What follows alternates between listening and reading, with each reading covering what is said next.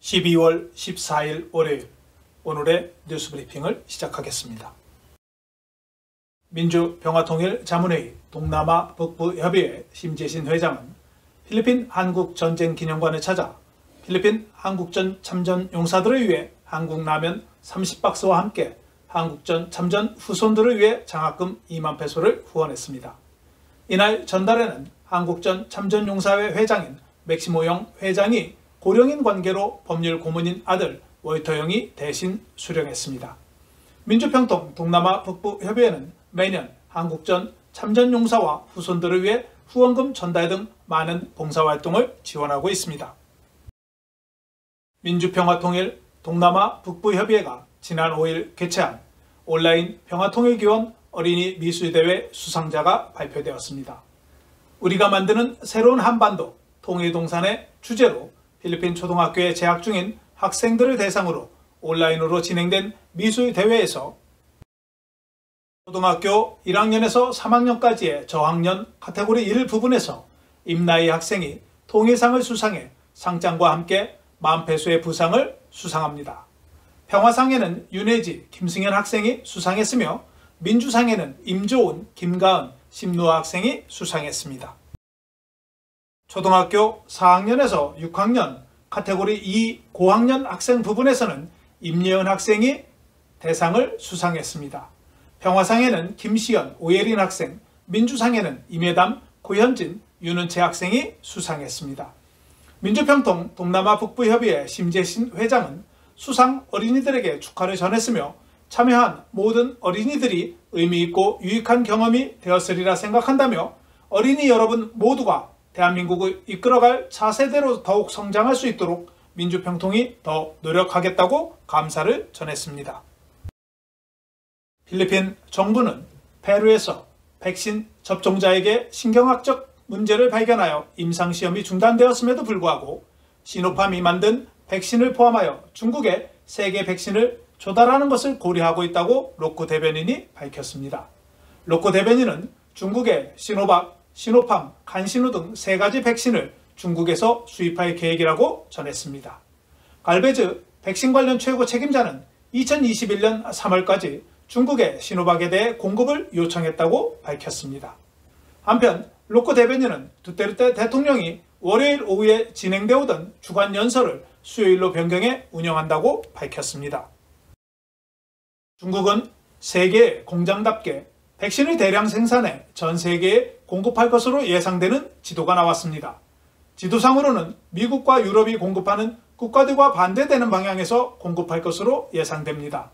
미국에서 개발된 백신은 영하 20도에서 또는 70도의 콜드 체인이 필수로 저 개발 국가에서는 지원을 해도 사용할 수 없는 상황이지만 중국에서 개발된 백신은 실온에서 보관이 가능한 백신으로 필리핀도 우선순위에 책정되어 있습니다. 이번 백신의 개발은 미국과 중국의 영향력을 확대하는 데 있어 매우 중요한 수단이 되지 않을까 생각해 봅니다. 필리핀 상원의원은 월요일에 북부 고속도로에 대한 무선 주파수 식별 RFID 스캐너의 결함으로 인해 교통체증이 발생한 데 대해 무현금 통행료 징수 시스템의 중단을 촉구했습니다. RFID 판독기의 오류로 인해 교통체증이 발생하자 발렌주엘라 시장은 통행료 사업에 대한 면허를 정지했으며 발렌주엘라 톨게이트를 무료로 통과시킨 바 있습니다. 통행료 규제위원회는 북부고속도로 운전자들이 극심한 교통체증을 겪은 후 현금 차선을 재운영하고 있습니다.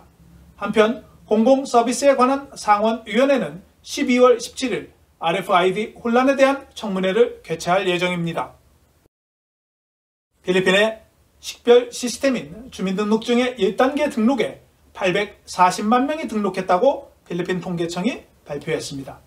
통계청 관계자는 연말까지 900만 명에 대한 목표를 초과해서 1100만 명에 이를 수 있다고 말했습니다. 통계청은 두 번째 단계는 내년 1월에 시작되어 4월부터 점진적으로 진행하며 2단계 등록은 문서를 확인하고 생체 정보를 캡처하는 것이라고 덧붙였습니다.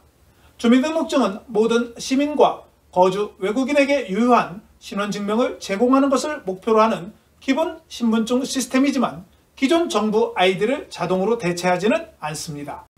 통계청은 2022년 6월까지 PCC에 9,200만 명의 필리핀 국민을 등록하는 것을 목표로 밝힌 바 있습니다. 필리핀 통계청의 자료에 따르면 필리핀 국민들의 기능적 문해력이 91.6%에 도달한 것으로 조사됐습니다. 통계청은 10세에서 64세 연령에서 2013년 문해율이 90.3%였으나 2019년에는 91.6%로 상승했으며 여성이 92.9%로 남성의 90.2%에 비해 높았다고 밝혔습니다. 지역적으로는 수도권이 96.5%로 가장 높고 무슬림 방사모로 자치구가 72.6%로 가장 낮았습니다. 유엔 교육과 문화기구인 유네스코는 1956년부터 문해력을 두 가지로 구분하고 있습니다. 글을 읽고 쓰는 기초적인 능력을 말하는 최소 문해력과 사회적 맥락 안에서 글을 읽고 쓸 수 있는 능력인 기능적 문해력으로 구분하고 있습니다. 필리핀 외교부는 12월 13일에 주간 단위로 가장 많은 필리핀 해외 근로자 13,537명을 본국으로 송환했으며 2월 이후 송환된 필리핀 해외 근로자의 수가 30만 838명이라고 밝혔습니다. 이 중 해상 근로자는 30.12%로 9만 621명이고 육상 근로자는 69.88%로 21만 217명입니다. 외교부는 연말연시가 다가옴에 따라 계속해서 해외에 머물고 있는 필리핀 국민들을 고국으로 송환하기 위해 두 배의 노력을 경주할 것이라고 밝혔습니다. 필리핀 위험약물위원회는 유엔이 최근 마리화나를 재분류하면서 위험한 약물 목록에서 제거했지만 여전히 필리핀에서는 위험한 약물이라고 밝혔습니다. DDB 레이스 차관은 마리화나가 의료용으로 사용할 수 있지만 코카인과 아편처럼 여전히 위험하다고 언급하면서 마리화나 생산이 정부의 금지마약 목록에 여전히 포함되어 있기 때문에 불법으로 남아있다고 주장했습니다. 한편 유엔 마약위원회는 지난 2일 대마초와 대마초 수지를 세계에서 가장 위험한 마약의 범주에서 제외시키기로 결정했습니다. 파키아오가 내년에 결제 플랫폼인 PacPay를 출시합니다. 복싱 슈퍼스타이자 상원의원인 파키아오가 해외 필리핀 근로자들의 금융거래를 위해 PacPay를 출시해 편리하고 안전한 국경 간 금융거래를 제공할 것이라고 말했습니다. 지난해 파키아오는 PAC 토큰이라고 하는 자신의 암호화폐를 출시했으며 이를 통해 팬들은 자신의 상품을 구매하고 소셜미디어를 통해 그와 상호작용을 할 수 있도록 했습니다. 그는 백페이에서 받게 될 수익금의 일부가 필리핀의 자선사업 기금으로 사용될 것이라고 말했습니다. 필리핀 보건부는 유행성 프로토콜은 다른 질병을 발생을 억제하는 데 도움이 되었다고 전했습니다. 듀크 보건부 장관은 코로나 바이러스에 대한 최소 건강 기준으로 인해 다양한 질병이 40에서 90% 감소했다고 말했습니다. 특히 홍역과 댕기열의 경우 각각 90%, 70%가 감소했습니다. 보건부는 지난해 2월부터 금년 4월까지 홍역이 발생했으며 40만 건의 댕기열이 발생해 역대 기록을 갱신했다고 덧붙였습니다. 고용 노동부는 12월 휴일에 대한 민간 부분 직원에 대한 급여 규정을 발표했습니다. 벨로 노동부 장관은 고용주들에게 12월 휴일에 대한 적절한 임금 지급을 준수하도록 요청했습니다. 고용노동부에 따르면 12월 8일, 24일, 31일에 대한 임금 규정은 무노동 무임금 원칙이 적용되며 노동을 한 직원에게는 30% 추가 수당을 지급해야 합니다. 정기 휴일인 25일과 30일에는 근무를 하지 않아도 100% 급여를 지급해야 하며 근무를 할 경우에는 200%를 지급해야 합니다. 하지만 코로나19로 인한 국가 비상사태가 발생함에 따라 노동부는 지역사회 검역기간 동안 문을 닫거나 운영을 중단한 시설은 12월 25일과 30일에 대한 규정된 휴일 수당 지급에서 면제된다고 전했습니다. 필리핀 과학기술부는 시장에서 판매되는 꿀 제품의 대부분인 80%에 설탕과 옥수수 시럽이 포함되어 있다고 발표했습니다. 시장에서 판매되는 꿀 제품의 80%가 설탕과 옥수수 시럽을 포함하고 있어 소비자의 건강을 위협하고 지역꿀 산업에 2억 배수의 손실을 초래하는 것으로 과학기술부가 발표했습니다. 필리핀 원자력 연구소 자료에 따르면 76개 브랜드 중 62개가 C4 설탕 시럽 95%로 구성되어 있는 것으로 밝혀졌습니다. 식료품점이나 기념품 가게에서 판매되는 16개 지역 브랜드 중 12개, 온라인에서 판매되는 74개 지역 제품 중 64개는 순수한 꿀이 아니라고 말했습니다. 한편 필리핀에서 판매되는 41개 수입 꿀 제품 중 어느 것도 오염된 것으로 밝혀지지 않았다고 덧붙였습니다. 시장에서 판매되는 꿀은 농업 및 수산 표준국의 꿀에 대한 필리핀 국가 표준에 따라 식품 첨가물 및 기타 물질이 없어야 합니다. 필리핀과 중국이 쌀 수입국에서 공동으로 1위에 등재됐습니다. 미국 농무부의 최신 보고서에 따르면 필리핀의 쌀 수입량은 지난해 290만 톤에서 21% 감소한 230만 톤에 달한 것으로 예상되어 목표인 250만 톤에 비해 낮았습니다. 필리핀 민간 쌀 수입은 최근 몇 달 동안 정부가 농업의 불안으로 인해 새로운 수입허가 발급을 중단하면서 어려움을 겪고 있습니다. 필리핀 쌀의 수입 감소에도 불구하고 중국과 함께 세계 최대 수입국으로 부상할 것으로 예상되며 중국은 올해 수입이 지난해와 같은 230만 톤에 달할 예정입니다. 하지만 필리핀은 내년에 수입이 13% 증가해 260만 톤에 이를 것으로 예상되어 다시 최대 수입국의 지위를 찾을 것으로 전망됩니다. 필리핀 국민들은 넷플릭스에서 2020년에 가장 많이 본 한국 드라마는 더 킹으로 알려졌습니다. 한국 드라마에 대한 시청률은 지난 2019년에 비해 350% 이상 증가했습니다. 더 킹에 이어 더 킹덤 시즌2가 2위를 차지했으며 사이코지만 괜찮아가 3위, 이태원 클라스가 4위, 스타트업이 5위를 차지했습니다. 한편 코로나 바이러스로 인한 봉쇄로 필리핀에서는 어린이용 작품들의 시청률이 2배로 증가했습니다. 파식 시정부가 4천명 이상의 임시직 직원에 대한 내년도 임금을 인상하며 전염병 유행하는 가운데 직업 안정을 보장할 것이라고 파식시 소토시장이 밝혔습니다. 소토시장은 지난주 토요일 4,339명의 임시직 직원에 대한 금연을 월 11,551페소에서 13,572페소로 인상한다고 밝히면서 시정부의 목표는 더 많은 계약직 직원을 정규직으로 전환하는 것이라고 덧붙였습니다.